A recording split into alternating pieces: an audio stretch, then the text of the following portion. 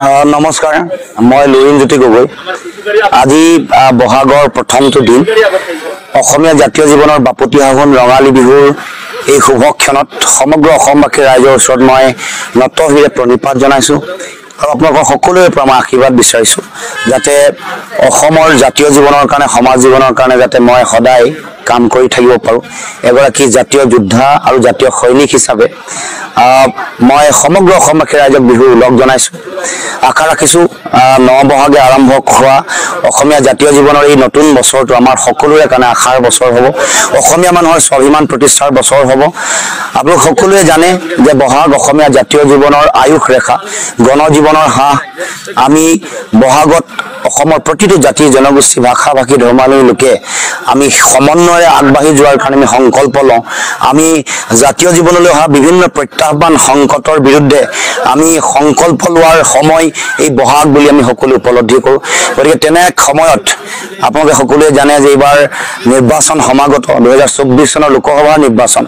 আৰু মই এইবাৰ বিৰোধী ঐক্য মঞ্চ অসম অৰ্থাৎ সকলো ৰাজনৈতিক দল কংগ্ৰেছ দল ৰাইজৰ দল জাতীয় পৰিষদ C P I C P I M C P I M L forward block N C P কে ধৰি সকলো বিৰোধী ৰাজনৈতিক দলৰ সন এগৰাকী উমৈহতীয়া প্ৰাৰ্থী হিচাপে মই ডিব্ৰুগড় লোকসভাত মই প্ৰতিদ্বন্দ্বিতা কৰিছোঁ।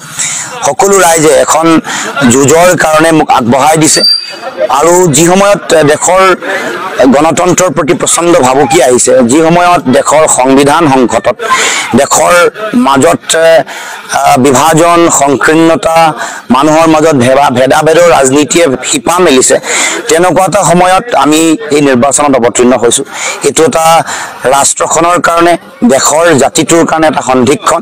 গতিকে এই সময়ত আমাৰ সকলোৰে দায়িত্ব আছে যে আমি কেনেকৈ আগবাঢ়িম আমি কি সিদ্ধান্ত ল'ম আমি সঠিক আৰু শুদ্ধ সিদ্ধান্ত কোনটো হ'ব সেই সম্পৰ্কত অকণমান ভাবি চোৱা গতিকে মই সকলো ৰাইজকে আহ্বান জনাইছোঁ যিহেতু জাতিৰ সংকট যিহেতু দেশৰ সংকট এই সময়ত আমি সঠিক আৰু শুদ্ধ সিদ্ধান্ত ল'ব লাগিব। মই বিশেষ ৰাজনৈতিক কথা ক'ব খোজা নাই আজিৰ দিনটোত যিহেতু বহাগৰ বতৰ। আজি সকলোৱে ৰঙেৰে উপচাই পেলোৱাৰ যিহেতু সময় কেৱল মাত্ৰ এটাই আহ্বান জনাইছোঁ যে আমাৰ সকলো বিৰোধী ঐক্য মঞ্চই দিয়া যিটো দায়িত্ব বা ৰাইজে দিয়া দিয়া যিটো দায়িত্ব সেই দায়িত্ব মই পালন কৰি এইখন যুঁজ দিবলৈ ওলাইছোঁ। সেইকাৰণে যুঁজখন কৈছোঁ যে আমাৰ শাসকীয় পক্ষৰ লগত মোৰ যুঁজ নহয় এই যুঁজখন শাসকীয় পক্ষৰ লগত এইবাৰ ৰাইজৰ জনগণৰ যুঁজ। এইখিনিতে আমাৰ চিম্বল জাহাজ পানী জাহাজ সকলো ৰাইজক এই চিম্বল মনত ৰাখিবৰ কাৰণে এই চিহ্ন পানী জাহাজৰ চিহ্ন যাতে সকলোৱে মনত ৰাখে তাৰ কাৰণে আহ্বান জনাইছোঁ। মই এটাই কথা ক'ব খোজোঁ যে অসমৰ এই সময়ত দেশৰ দেশৰ আৰু অসমৰ সং- আমি গভীৰ সংকট আমি দেখিছোঁ। এফালে নিবনুৱা সমস্যা আনফালে আহ, মূল্য বৃদ্ধি তাৰ লগে লগে দেশৰ গণতন্ত্ৰৰ সংকট সংবিধানৰ সংকট।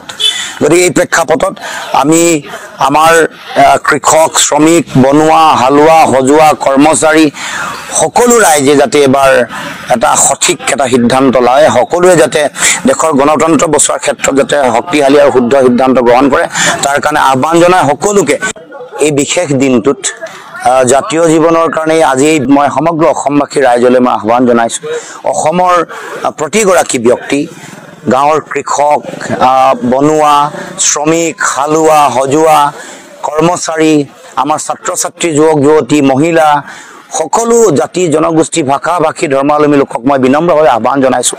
দেশৰ এই সংকটৰ সন্ধিক্ষণত যাতে আমি অসমৰ মাজলৈ যাতে সমন্বয় সম্প্ৰীতি যিটো বৰ ভেটি যিটো সৌধ সেইটো যাতে পুনৰ নিৰ্মাণ হয় সেইটো যাতে পুনৰ ঘূৰি আহে আমাৰ বিভিন্ন জাতি জনগোষ্ঠী ভাষা ভাষী ধৰ্মাৱলম্বী লোকৰ মাজত থকা সাতাম পুৰুষীয়া ঐক্য সমন্বয় সম্প্ৰীতিৰ বৰ ভেটি যাতে পুনৰ প্ৰতিষ্ঠা কৰিব পাৰোঁ তাৰ কাৰণে যাতে ভগৱানৰ ওচৰত প্ৰাৰ্থনা জনায় মন্দিৰ মছজিদ গীৰ্জা বৌদ্ধ বিহাৰ সকলোতে ভগৱানৰ ওচৰত বন্তি জ্বলাই যাতে সকলোৱে যাতে প্ৰাৰ্থনা কৰে অসমীয়া মানুহৰ স্বাভিমান যাতে পুনৰ প্ৰতিষ্ঠা হয় সকলোৰে মাজত শান্তি সমন্বয় সম্প্ৰীতি যাতে ঘূৰি আহে সাম্প্ৰদায়িকতা নাইকিয়া কৰি মানুহৰ মাজত যাতে সমন্বয় ভাতৃত্ববোধ প্ৰেমৰ মহামিলনৰ বাৰ্তা যাতে গঢ়ি তুলিব পাৰোঁ।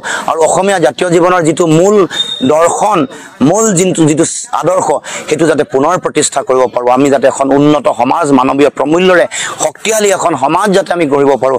তাৰ কাৰণে সকলোৱে যাতে প্ৰাৰ্থনা জনাই বন্তি জ্বলাই তাকে আজি শুভ এই দিনটোত মই সকলোকে আহ্বান জনাইছোঁ। ধন্যবাদ। নমস্কাৰ।